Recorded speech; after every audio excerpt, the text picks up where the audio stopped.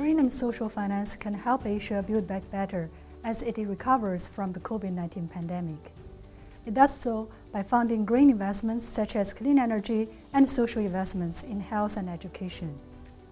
It is especially important now because government revenues have collapsed during the pandemic. Countries are finding it harder to pay for needed green and social investments. Private capital is necessary to close the funding gap. And this is really the perfect time to make these green and social investments. This COVID-19 pandemic has disproportionately affected the poor and the vulnerable.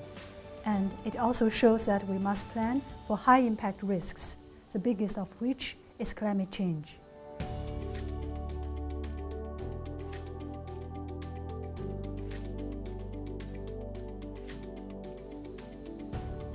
Green and social finance is expanding very rapidly in emerging markets led by developing Asia.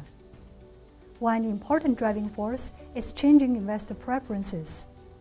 More investors now want their investments to perform well, but also be a force for good.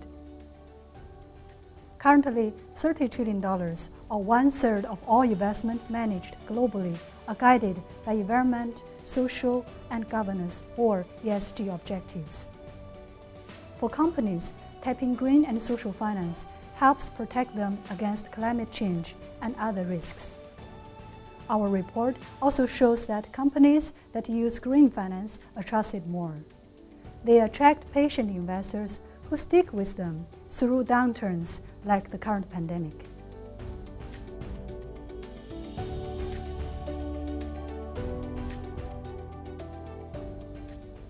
Government can use a range of policies to shape social and green finance markets and participate in them. Typical options include legislation and regulation, as well as various fiscal instruments.